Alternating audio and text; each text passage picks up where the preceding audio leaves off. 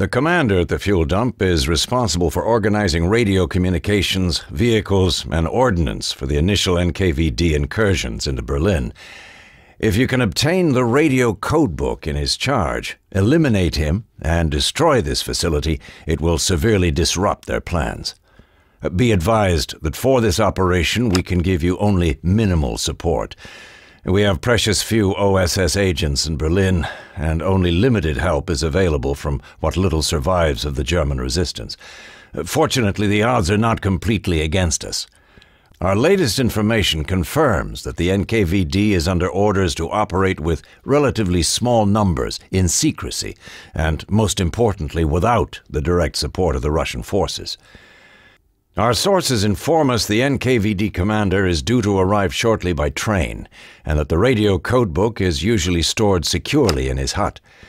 Unfortunately, this is heavily guarded when he is not present, so the best opportunity will be when he removes it from its secure position just prior to using it.